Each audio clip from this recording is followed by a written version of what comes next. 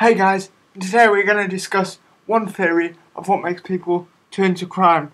Now, this is called a differential association theory and it was first developed by Sutherland 1939. Now, I, I, I always say at the start of these videos, and this is going to be no exception, that I, I know not all of you, are, uh, far from all of you are sitting the OCR A-level psychology specification and some of you might not be interested in this video.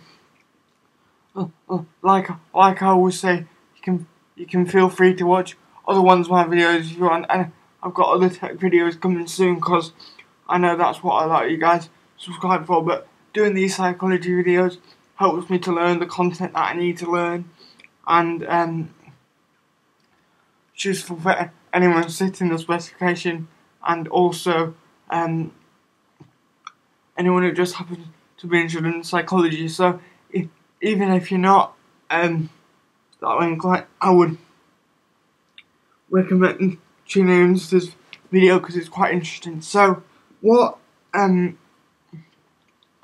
what makes people what makes people turn to crime? Well, obviously a big part of cr criminal behaviour is how how you actually carry out the crimes and what, motivates you. Um, that's where differential association comes in. Um, a theory, differential association theory, Sutherland 1979. It was uh, uh, Sutherland 1939. It was later developed by Cressey, one of his students, but the original one is Sutherland 1939, and that's what's on the OCR A level spec. So that's what we're going to cover. Um, it's it's a social learning theory. So think Bandura. It's not it's not Piaget as if uh, um we go through various stages. Uh, um, it's a it's a social learning theory. So think Bandura, Bo, Bo, Bobo doll experiment. That's that's the that's the direction we're going here, and it outlines nine principles of what makes people criminals. So we're going to talk through those nine principles and then um, we'll do some evaluation at the end. Cause, uh, as you know, evaluating research is a big, big component of um, this particular spec. So, um, nine principles. What are they? Well, the first one is really simple. Remember, I told you it was a learning theory, and the first one is criminal behaviours learned. Uh, um, we do some studies that are discuss on a later date about how uh, um, there might be biology might cause pre, pre, um, predisposition towards criminal behaviour. This is very much a learning theory. So, principle one is that criminal behaviour is learned. Uh, princ principle two is that criminal behaviour is learned, but it's it's learned through inter interaction uh, with other individuals in a process of communication. So you you learn it from other other people, different people. That's where the differential part comes in, and you do that in a process of communication.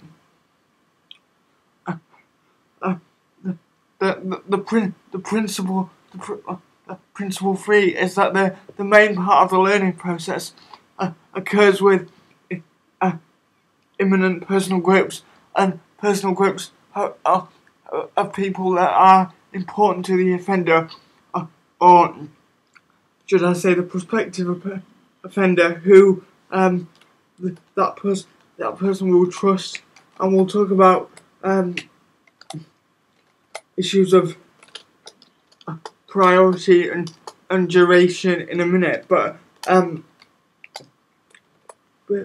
before it gets that, Sutherland says that it has to be with in, in intimate personal groups. So that's that's family, close friends, and people like that. So, um, the the, next one, um, when when criminal behaviour is learned, this a principle four now. When criminal behaviour is learned, don't they don't just learn um the techniques of committing the crime. They learn several aspects. Um, that includes how, how to commit the crime, why the the motivation behind the crime, attributions for the crime. So basically, excuses for why they've done it and and what what drives to commit the crime. So that they don't just learn how, they learn sort of um why and um and attitudes as as to what their excuses are for why they commit the crime. So um and this this natural principle five is one of the biggest key ones. The the um the the the, the specific direction of the motives and drive is is, is learnt through a, a definition of the, the legal code as favourable or unfavourable. So if I um if I said it's okay to go out and shoplift to someone else and I was important to them, they would learn that that legal code as unfavourable. So obviously it's okay to break. Um, so the specific direction of the motors and drives is learnt from definitions of the legal as favourable or unfavourable. I'm reading that directly from the thing because it's it's really important. Um, principle six, perhaps most important. A, a person who would not otherwise be a criminal becomes a criminal because of an excess of of these definitions that I spoke about a minute ago that um are, favourable to law breaking. So if you have if you've learnt more definitions that are favourable towards breaking the law, then you will you you will start to break the break the law because you, you don't you don't you don't see um, any reason. So you have to have more definitions that are favourable to violating the law than definitions that are unfavourable. Um, what, what I was talking about before, uh, uh, Principle 7, differential associations may vary, vary in frequency, so that's how often, duration, how long, um, priority, so that's uh, how high the person, how much respect the person gives to it. That's why it occurs in intimate personal groups. But um, so differential associations may vary frequency, duration, priority, and intensity. So obviously that's how long, how strongly the other other person believes it and is um, and conveys it to the prospective offender. Um,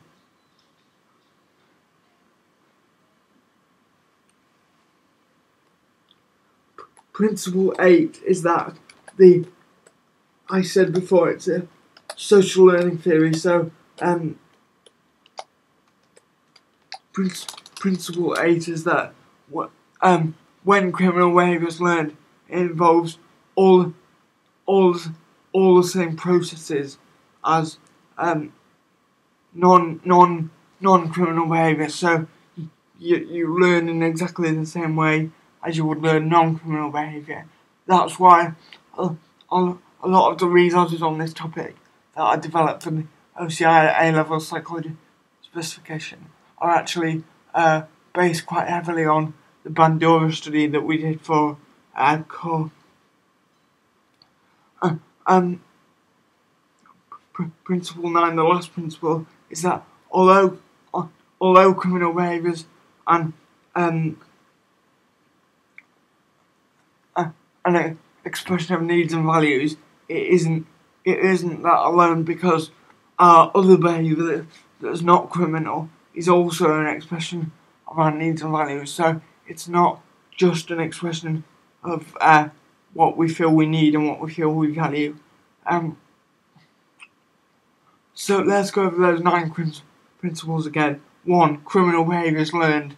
Two, criminal behaviour is is learned uh, through association with other individuals in a process of communication. Principle three, uh, the, uh, it occurs within int- intimate personal groups. Um,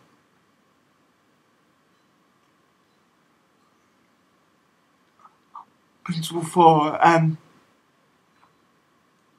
learning includes techniques of committing the crime, um,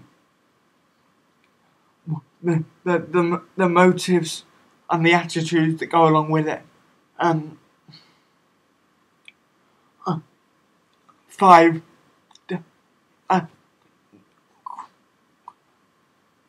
the person learns uh, definitions of the legal codes as favourable or unfavourable to breaking the law, and obviously the most um, the more definitions you have are favourable to breaking the law, the the more likely you are to become a criminal. Six, a person becomes delinquent because of an excess of definitions that are favourable to breaking the law over a a excess of definitions that are unfavourable to breaking the law. So if you have more definitions that are favourable to breaking the law, you're more likely to uh, become a criminal. Uh, principle 7 um, differential association so that that's your association with different people who may be offenders or non-offenders may vary in frequency duration and uh, priority and intensity so if you hardly ever see non-criminals, then you you won't become you won't become a criminal. But if you're around criminals all the time, you're exposed to them for a long time, and you value what they say, then you um you are likely to become a criminal. Uh, principle eight: the, the process of learning criminal behaviour involves all the processes that are part of learning uh, non non criminal behaviour. Um, so you you're you're just learning different content essentially, but the the, the processes are the same. Um, uh, principle nine is interesting because because it's it says um, people often say they need they um, correct time to satisfy a need. So like, um, some people might say, my my family need food to eat, so I um I steal food to eat. So this this principle nine essentially says that while criminal behaviour can be can be an an expression of um, needs and values, it's no it's no more of an expression of needs and values the non-criminal behaviour. Um, so, so that's the that's the uh, research. Let's let's think about some evaluation issues. Well, um, in my mind, there's there's two big problems with this research. One is that it's just um, it's just it's just a theory. There's no um, sort of empirical scientific evidence behind it. So when you're thinking about psychology as a science, it's not um, it's not very high standing on that. It's all it's all it's also quite reductionist. It says that um, behaviours learned just through socialisation and not learned through other, other factors, whereas someone like Ray Howe says that principally the criminal behaviour comes from biology, but then he also says um, you, you need you need exposure to bad social situations to turn turn those biological drives on. So that's slightly less reduction reductionist than this, but this is definitely reductionist. So uh, you you need about four issues for each valuation questions. So just from the from this study, we've got a lack of empirical evidence. Um, we've got reductionism. Um, um, another issue is that uh, this this theory is quite old, so it may um it may only represent what um an idea of what was what was going on at, at that period of time in 1959. Obviously, the the, so, uh, the social situations what was going on in the world were different then and may have influenced people's criminal behaviour. So you've got um, the the, so, the social context problems there. What what's a good thing about this research? Because you need you need ideally four or five aspects to cover, cover in each uh, question. And the good thing about this research is that it, it doesn't it, it doesn't break any ethical guidelines. They, they, Sutherland didn't turn people into criminals. It, it, it's it's just a it's just a theory based on what what what he had observed and what he believed to be true. So in that way, there's also no um, be, due to the fact that there's no empirical research, there's no ethical problems, and there's there's there's also very high ecologi- ecological validity because people aren't going to be experimented on. The be- the behaviours that Sutherland observed and, and wrote about in his daily life would probably be representative of how people behave normally. So, um, that's Sutherland's theory of differential association. I hope you've enjoyed this video, guys. Hope you've got something out of it. Um, be sure to visit our website address down below, tom-rogers.com. Uh, there's a whole bunch of good stuff over there. Anyway, guys, thanks for watching. Sutherland's theory of differential association, 1939. Thanks for watching. I'll see you in the next video. Bye bye.